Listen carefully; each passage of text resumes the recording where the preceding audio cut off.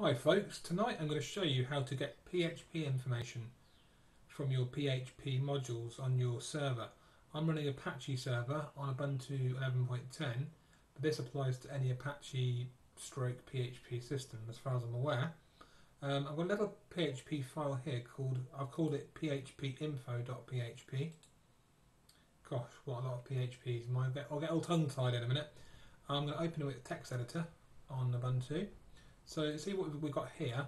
We've basically got the opening PHP um, angle bracket and the statement. Um, you call the function PHP info semicolon and then close PHP. So you then save that to uh, this file here, phpinfo.php. Wow, getting tongue tied. Right, so I'm now in slash var slash www or your directory where you're to where you're to put the PHP file. If I do ls, I've already copied it in there, so phpinfo.php is there. Now if I want to remove that, just to show you how to copy it back.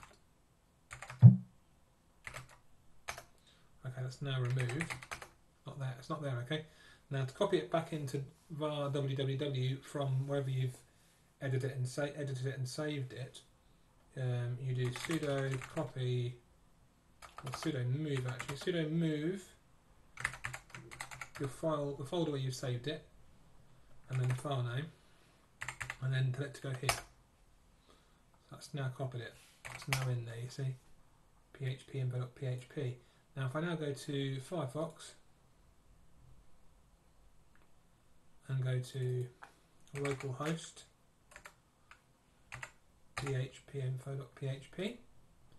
It brings up a web page that tells you all about the PHP module or modules you have installed on your system.